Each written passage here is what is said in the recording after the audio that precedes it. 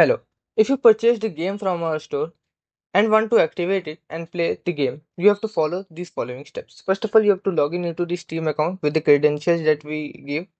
After logging in, you have to go to the library and install your game.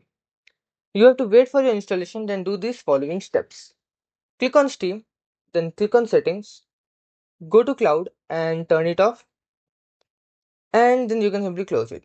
Then you have to click on Play wait wait for the game to launch. You have to click on allow. If it comes if it doesn't no problem. It is an optional step. Now since my game is open i will simply click on stop. Uh, you have to wait a few seconds then click on stop and click on confirm. Now since your game has exited your game has been activated now just you have to uh, follow some steps.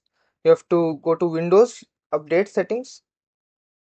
And here you have to click on uh, this arrow button besides pause for one week and click on pause for five weeks.